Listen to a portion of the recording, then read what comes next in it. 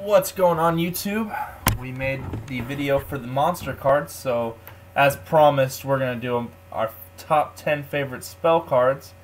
Of course, that would be me and El Norte again, who's back for another round. Let's call him Mr. Three Straight. Are three straight. He's been in on three straight videos, make Yeah, it buddy. four here pretty soon. yeah. And uh, he's starting to uh, get up there in fame.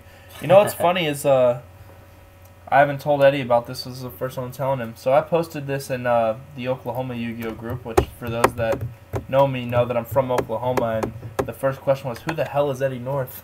and I was like, "Savage, damn." But no, Eddie, of course, everyone knows Eddie. He's a well-respected player, and uh, sometimes, Sometimes. well respected. But all right, we're gonna do our top ten favorite spells. So uh, let's start it off. I think I'll start by swinging for the fences with this fan favorite, Black Whirlwind. I think a lot of people like Black Whirlwind. I mean, that's why for some reason the ultra rare version of this card's still eight dollars. Even though the deck sucked for 12 years now. but Black Whirlwind, obviously, he was. It was the. Uh, it was the finishing touch to one of the most iconic decks in the history of the game. I would say. So, what about you?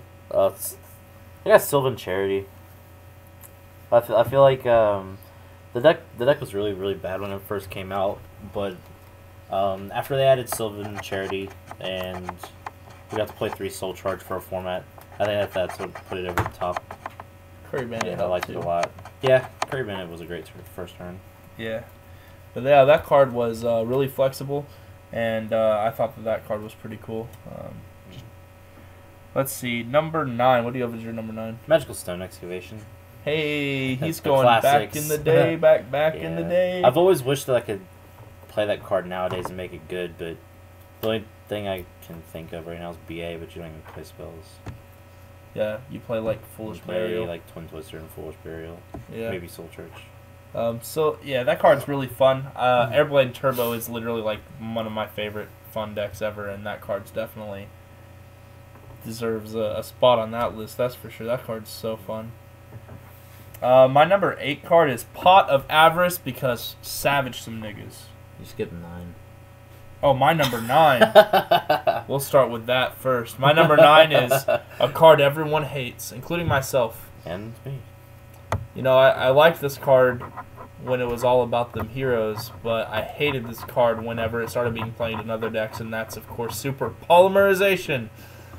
You can fuse Jaden Yuki with uh, Yubel and create a weird fucking guy that has cool eyes. Um, No. but the biggest reason why I like Super Poly is because it actually made the Hero Mirror really skill based because it made like both players play kind of in a in a booth, so to Yeah. speak. It's like a slow pace. And uh, I thought it was really fun because obviously, like Super Poly was a real cost against all the decks that wasn't heroes, and so like at the time it was really cool, and it was just a nice out to things like Logia. Yeah. But then it came in Shaddolls and became ignorant, like I'll kill you even though you get effects. You have a Dante? I don't think so. yeah, I it have was a construct. yeah, it was it was scary because they could just kill you. But yeah, now I'll tell you about my number eight card, Pot of Avarice. Yeah, the card's really fair. Um, I just like to draw this card playing windups and being like, well, I've got Zenmaities and Magicians again. Bye.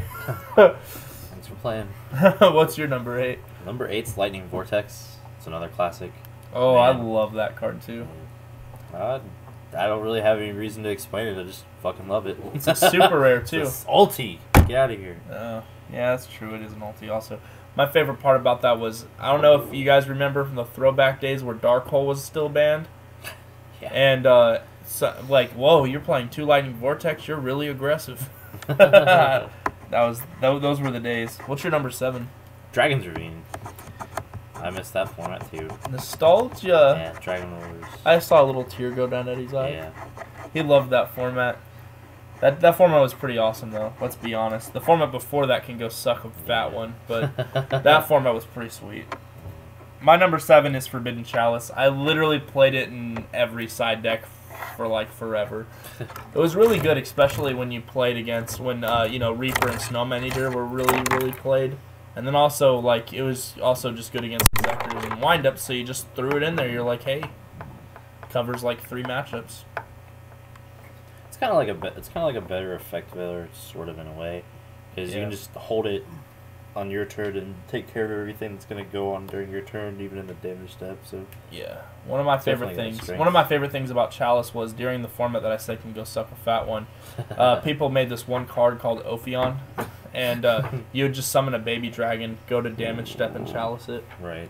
And if they chained, uh, if they if when you attack they activated uh, Pandemic, then you just chain Chalice there. My number six card is the greatest top deck in Yu-Gi-Oh! Miracle Fusion. Oh, I thought we had the same thing. I was like, what? is yours pretty good too? Uh, yeah. Oh, it is yeah, pretty it's good. Pretty good. it might even be better. What, number Uh, six is Top Deck Wars. Which do you prefer, Miracle Fusion or? Preparation of Rites. Those cards are the greatest like top decks ever. Man, best of Yu-Gi-Oh.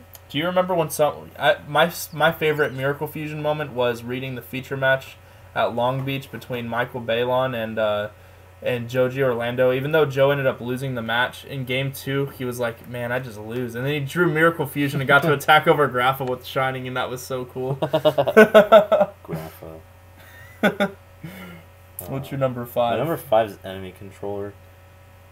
Oh, I wish advantage like that was still good nowadays.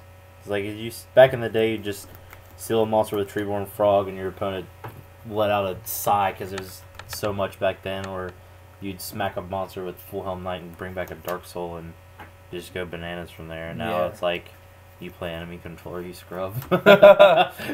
Uh, enemy controller had some time with BA too. It was Yeah. really good, and then of course uh, we all know the Danko doll list that uh, Jeff Jones made that played enemy controller. So enemy controller's been always one of my favorites because it's just been so flexible and so good for so long. I mean, remember when changing battle positions mattered too? right. I mean that card used to be so flexible, and then it's a spell and everyone played Decree and yeah, it was cool. One of those spell traps like Bookman. My number five, and fuck Patrick Hoban. Just kidding. Pat, Pat's Pat's cool as fuck, but my number five is Upstart Goblin, but it has nothing to do with Patrick Hoban. I've always liked Upstart Goblin, and I always love super rares, and Upstart is one of my favorite super rares. Um, I just really always like the idea of making my deck really consistent. I play decks like windups. You don't really have a lot of room for error in your opening hand with those kind of decks, so I've always played cards like that.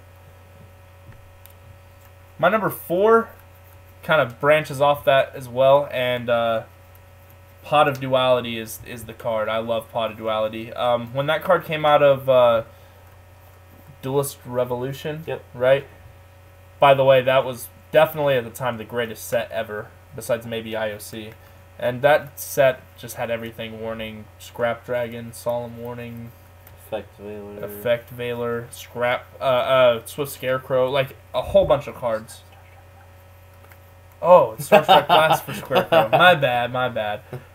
I think Oh, Mystic Ref man. Panel came in Yeah, that set. yeah, I'm pretty sure it did too. Yeah, D-Rev was cool, but uh, Pot of Duality was $180, and I didn't get to have any, and then it got reprinted as a super, and I had, like, all of them. As many as you wish you had back then. Yeah. Let's see. What's number four for me? Oh, Soul Charge. More broken stuff. yeah, that might be my least favorite spell. I think My Judge... favorite spell is Raigeki. Uh, that's up there Ah. too. I fucking hate that card. Especially when people make a dweller and I'm having two Dantes and they regect me. I just want to punch them and be like, fuck you. What's your number three? Number three is Foolish Burial. So much flexibility in everything. Almost everything. it Maybe the most flexible spell card in Yu Gi Oh! Possibly. Besides my number three, which is Book of Book Moon. of Moon. Book of Moon is like on everyone's list almost, I'd say. Book of Moon's just so cool. Like it's defined formats, it's also been a floodgate against BA in a way. Sort I of, mean, yeah. It's it's done so much for this Book game. of Raigeki. Book of Raigeki, yeah. like flying Raigeki. Book of Moon is like Book of Moon is like one of my favorite cards. You get to like do cool things. Like it's literally the most flexible card ever. Push effects through, deal with monsters, answer trap stun and ra- and royal decree. Like it just literally did everything you could ask for. Cool uh, battle step tricks. Awesome card. Attacking through Valk for game. Yeah. Gungnir did that too, though. Yeah, What are we at? Number two now? yeah. I've got Spellbook of Fate as a personal favorite. Oh yeah, you I- can fuck yourself. Man. Just a- it had three different effects. Just And uh, all of them were used to just. and all of them Man, did not target. all of them used. All of them were good. But all of them did not target. I hated that card, the first one. Because, you know, um, I played windups for forever, and spellbooks were literally the one deck that was like the hardest thing ever. My number two, which uh, is something that most people aren't surprised, I'm sure, is Messenger of Peace. I played that in. I played that, and uh, Messenger of Peace was like one of my favorite cards ever because I got to play Messenger of Peace, Peace in Girgia, which is really good. No one else did that except for like two of my friends at Nats. Are like, bro, I literally all I had was an armor and I drew Messenger and I won. the card was so cool, and then like in windups, we all know what it did in that deck. Like, oh, you're never killing Magician, so just don't even worry about it. Just let him do it. yeah, You'll know. my number one, which is probably Ta-da. uh, Wind Up Factory. I love my I love my influx of new toys, as Pegasus said. A hammer. oh boy. oh, I see you're number one. Yeah. That card's like one of my All least fusion. favorite. free cards are free. Cool cards are cool. I like getting punished for Yeah. playing the game. I like stopping Rafflesia with Shekhinaga. that was really my cool. opponent. Oh my gosh. I like Shaddoll Fusion now so much more, now that I don't have to worry about playing against it a His lot. construct, yeah. oh man. But yeah, Shaddoll Fusion is fucking the titties. Yeah, I wish I could rewind time and change my side deck before Atlanta. yeah. Yeah. I should have been playing Dark Horner Dicky. Shaw Fusion was broken all day except for against Monarchs. Yeah, Monarchs are pretty good too. So that's our top Yeah. ten.